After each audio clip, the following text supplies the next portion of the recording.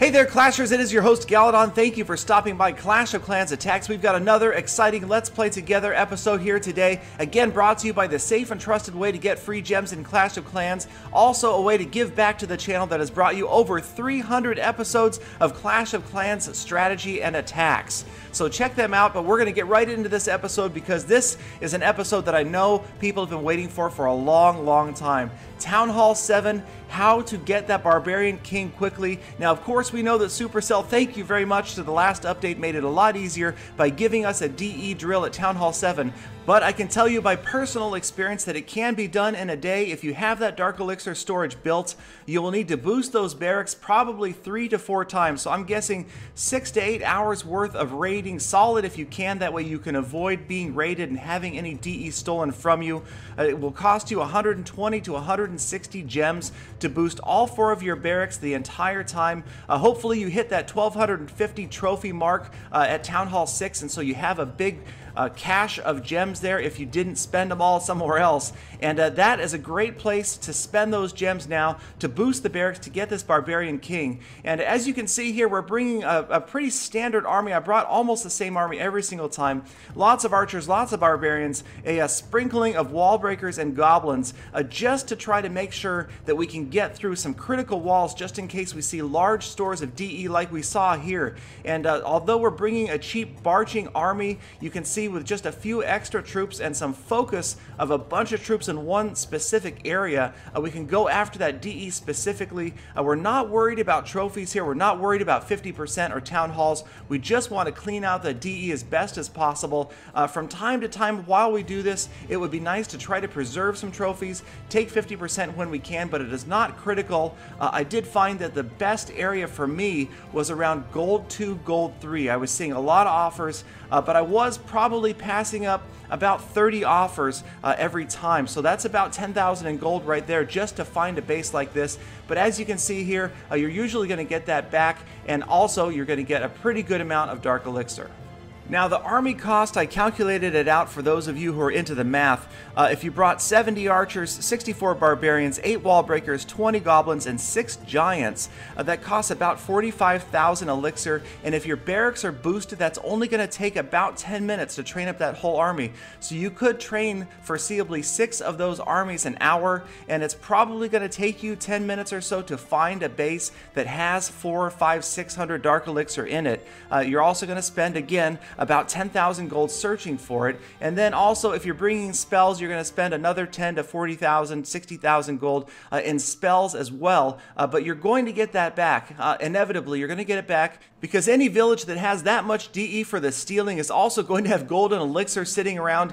And in this case here, you can see I got to the DE. That was my goal. Uh, but I did end up taking a bunch of other resources. And now the archers are on the town hall. And again, uh, like I just mentioned, I want to try to keep around gold 3 so I didn't want to lose every single attack. I wanted to win some, lose some. And uh, so here you can see the archers are just about to take out that town hall. Uh, I bring those spells, but I tried not to use the spells. I would say on average I only use the spells one out of every five or six attacks. Uh, I did use the clan castle here though. I've got some wizards in there and they're headed in. I was hoping they could take out that town hall and they're closing in. They're so close. I've got a wizard working on the town hall there, some archers, and they're going down. Is it going to be a heroic wizard? Heroic wizard? No, the heroic wizard is not to be.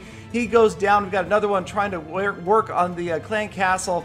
And uh, one last barbarian in there. He's not going to go for the town hall. So out of frustration here, I went ahead and dropped the lightning spell on the town hall, took it out, got the win there, and uh, took nine trophies rather than losing a whole bunch. So a big part of the key to DE farming is knowing where that DE is. Again, here you can see that the collectors, the mines and the elixir pumps look pretty empty. And usually that is going to be the same for the DE drill. So here we knew that that over 800 in DE was sitting in that storage right behind the town hall. So it just happened to be in the way. So we get the town hall out of the way. We've got archers and barbarians down and they're actually distracting while we drop those wall breakers in there. And now we're just going to overrun that wizard tower. There's a clan castle coming out and now I don't lightning DE And that doesn't count. Don't say it before you put it in the comments. That was not me lightning the DE. I was lightning on the clan castle. It just happened to be they were run, running over the DE. Uh, it worked out. The archers and the wizards come in there, wipe out that DE. Over 700 taken from this raid. Definitely walking away with a big profit and not lightning on the DE.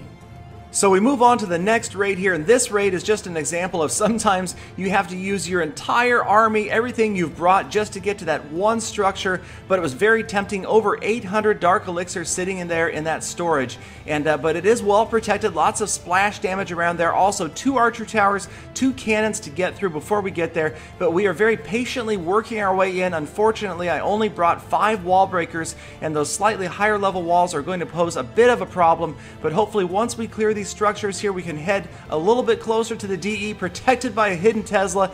That is unfortunate. The last wall breaker not quite through the wall there, but we should be close enough that once these other structures are down, we can just send in the archers and overwhelm that area and try to get over the wall to that DE. I'm going to go ahead and drop the last of my barbarians and goblins here just in hopes that maybe they can puncture this wall and get through. And uh, eventually I drop a heal spell in desperation. The last of my wizards, clan castle, the archers, and now the archers are targeting the DE. About that same time, the wall finally goes down. The goblins go in. We clear out that DE and we take all but 21 Dark Elixir. And thankfully, the dragon from the clan castle and the level 6 giant come out at the last moment, but it is too little too late. We have stolen our DE and enough elixir to pay for the troops in the raid. Alright, moving right along, we are reminded that the DE isn't always in the storages. Sometimes we're going to run across collector bases, and here is an example, empty expos, full gold mines and elixir storages around the outside, and of course, yes, look at the little collector on top of that DE drill. It is completely full with the good dark stuff, and there is another one over there. So we're going to send in some barbarians, a few goblins, archers, and luckily they are on the outside, so they're going to target them right away. And uh, so we've cleared that one. We've already collected over 500 in dark elixir, and uh, we're going to let the uh, troops run out over here, maybe collect some gold and some elixir from these other mines that are around the outside. Just very tempting. Uh, there's a lot of loot to be stolen from this base. Uh, we're focused on the DE, but at the same time, uh, those uh, DE drills are relatively easy to get to, so we don't need to sweat it. We don't need to focus all of our army there. We're even going to go ahead and try to take out the town hall and save some trophies here. I've got some troops on the fringe on the far right there working on that clan castle, the camp, the builder's hut there, just to get those out of the way first. And that way it makes it easier to drop troops and see where they're going to target specifically the drill. There we send in the goblins while the barbarians are distracting the defenses. The goblins pretty much do the entire job there. So we have a lot of troops left and we're going to go ahead and finish off this raid by grabbing some more gold and elixir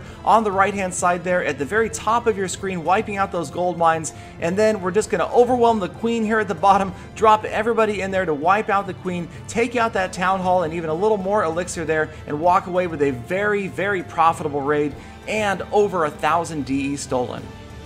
Now, while as a rule I generally will not lightning anyone's dark elixir storage, there are exceptions to every rule, and this is one such example right here. Now the raid started off innocently enough, I was just going to take that mortar out of the way so I could take his town hall and then maybe just grab some of those resources that he wasn't going to use anyway sitting in those collectors there. But unfortunately he had trapped his town hall not only with a hidden Tesla but with a couple of skeleton traps as well. So that is going to cost me a lot of units trying to take those out. The giant working on the mortar goes down. Got to drop a whole bunch of barbarians and archers here and this is just going to take forever to get this town hall out of the way. Eventually it is going to go down, but I had to pay him back for making me go through all this effort to waste all of these units on just getting the town hall, wandered over to his DE and gave it a little tap.